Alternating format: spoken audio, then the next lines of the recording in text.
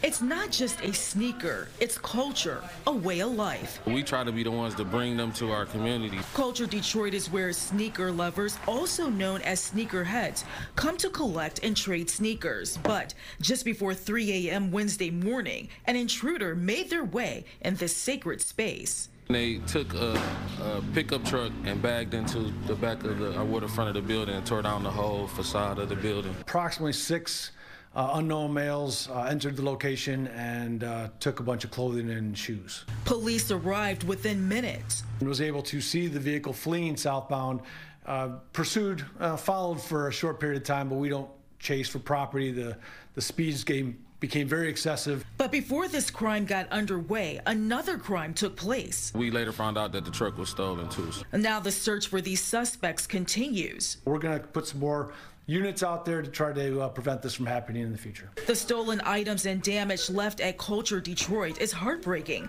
because this is not the first break-in. Back to 2015, there's been eight incidents. And that includes this one from Wednesday morning. Does this make you want to leave?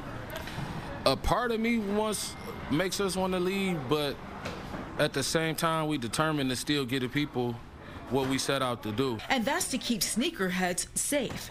When we first got into the business, you will hear a lot of stories of guys making deals on Craigslist or Facebook, and then you meet up and, you know, fake money, fake shoes. So we wanted to create a safe haven where kids can be able to buy, sell, and trade and start their own businesses and do it the right way. For now, efforts are underway to clean up the glass and board up the open space. As the co-owners and their partners work to safeguard this merchandise, they have a message for the bad guys who keep doing this criminal activity. To the bums who did this, go get a job.